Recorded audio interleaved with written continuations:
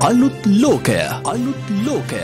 හරිමදේ හරියට. හරිමදේ හරියට.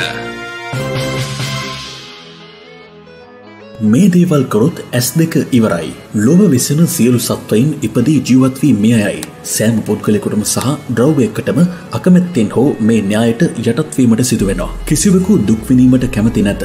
මාමෙන්ම ඔබද සුවසේ ජීවත්වීමට කැමතිය. මේදී ලෞකික දිවිය ගෙවන්නා සැපය ලෙස හඳුන්වනුවේ පසිදුරන් පිනවීම සහ මනස පිනවීමයි. එසේ නම් පසිදුරන් පිනවීමට පංච ඉන්ද්‍රිය යහපත් අයුරින් පවත්වා ගත යුතුයි. එවිට මනසත ඉබේම යහපත් වෙනවා. නමුත් මේ පසිදුරන්ට කුමක් හෝ අශුභ දෙයක් වුවහොත් එය අපගේ දිවිගමනට බාධාවකි. එම අවයව රෝගීවීම හෝ විකෘතිවීම මකින් ඉන් ලැබෙන පලය නොමැතිවී යයි. අප විසින් ඒ අවයවවල උපදින රෝගාබාධ පිළිබඳව දැන සිටීම වටි. එසේ නම් අද අප මුල්ම සංවේදී අවයවේ ඇතිවන රෝග පිළිබඳව කතා කරමු. මුලින්ම රෝග හේතු සහ ප්‍රබේද පිළිබඳව දැනගනිමු. නේත්‍ර රෝග පොදු හේතු අධික උෂ්ණත්වය සිටවිත් සැනින් ජලය ස්නානය කිරීම. දුරපීටි දෙයක් දෙස බොහෝ වෙලා බලා සිටීම. ඉන් ඇසට රුදිර සැපීම අඩුවේ ඇස දුරුවල වෙනවා.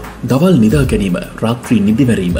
බොහෝ වේලා හැඩීම අනවශ්‍ය ලෙස නේත්‍රයෙන් කඳුරු ගැලීම නිසා ඇස වියලී කඳුළු නාල වියලී යයි. අධික කෝපය හා ශෝකය. ප්‍රෝමිසෝල් ශ්‍රාවය වීම නිසා අඩන විට ඇස් රතු වෙනවා. මෙ සෑම කෙනෙකුගේම නොපෙනේ මෙසේ වන්නේ හෝමෝන බල පෑම නිසයි. ඇසට පහර වැදීම මෙවිට ඇස තැලේ අධික මෙවුන්දම් සේවනය ඇසට අවශ්‍ය රුදිර ප්‍රමාණය නොලැබී යයි.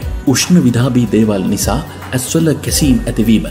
කොල්ලු හුඳු ආදිය අධික සේචනය ඇසට අධික තුම් ඇල්ලීම නිදා ගැනීම වැලැක්වීම දුවිලි ආදිය ඇසට ප්‍රවේශවීම ඉතා සියුම් දේ දීර්ඝ කාලීනව ඇසුරු කිරීම.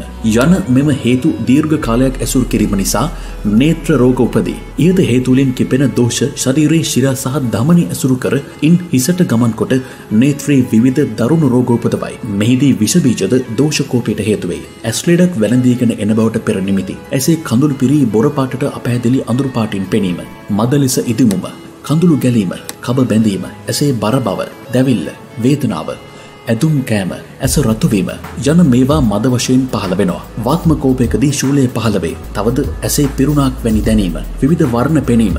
පෙර පරිදි ඇස ක්‍රියා කිරීමට අපහසුවීම. එනම් ඇසිපිය චලන විකෘති රූප දැකීමේ විකෘති ඇතිවෙනවා. මෙම ප්‍රමාණය නේත්‍රී රෝග ඇතිවන ස්ථානය අනුව ප්‍රභේද වෙනවා. නේත්‍ර සන්දී ඇසුරුකොට රෝග වර්ත්ම මණ්ඩල්ගත රෝග ශුක්ලගත රෝග ෂණ මණ්ඩලගත රෝග සරුව නේත්‍ර රෝග ෘෂ්ටිගත රෝග බාල්ක රෝග. ඉතින් මෙවැනි තුරතුරු දිනපතා නරමන්න පහලින් අලුත් ලෝකය අපිව සබස්ක්‍රයිබ් කරන්න. දවස සුභවේවා ඔබට ජයවේවා.